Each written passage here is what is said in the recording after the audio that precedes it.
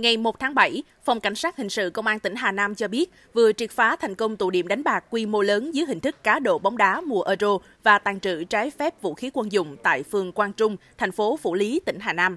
Bốn người bị bắt gồm Nguyễn Trung Hiếu, 40 tuổi và vợ là Trần Thị Hiền Trang, 31 tuổi, Vũ Trung Hiếu, 29 tuổi và Nguyễn Kim Cương, 34 tuổi. Khám xét chỗ ở của vợ chồng Hiếu, cơ quan công an thu giữ hai khẩu súng quân dụng, 54 viên đạn, 2 cân tiểu ly, 5 túi ni lông chứa 52 gam ma túy đá, 20 viên ma túy tổng hợp, một xe ô tô cùng nhiều giấy tờ nghi là giả.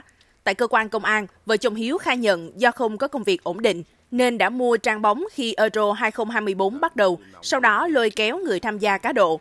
Từ đầu mùa giải đến nay, những người này đã tổ chức cá độ với số tiền hơn 1,1 tỷ đồng. Đáng chú ý, Hiếu còn nghiện ma túy. Hiện vụ việc đang được tiếp tục điều tra mở rộng.